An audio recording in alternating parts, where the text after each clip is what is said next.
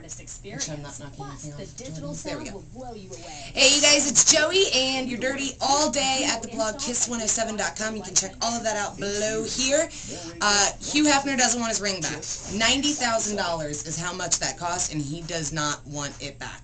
Uh, preliminary results on on Ryan Dunn on the autopsy. Toxicology is not going to be back for a few weeks, but the autopsy came back, blunt force trauma, and obviously the fire in the crash when the Jackass star died. And they're saying he was going 130 miles per hour.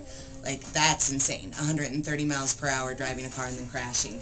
Uh, it looks like Nick Lachey is going to do a TLC special on his wedding with Vanessa Minnillo, and it's still hush-hush, it's a secret. So Drew and the entire family in Cincinnati are on standby right now to fly out at any time. And if you want to be on American Idol, they've released all of their dates. They're not coming to Cincinnati for audition auditions, but you can check out all the dates below, and if you have a good voice, we want to see you on there. So get out, represent.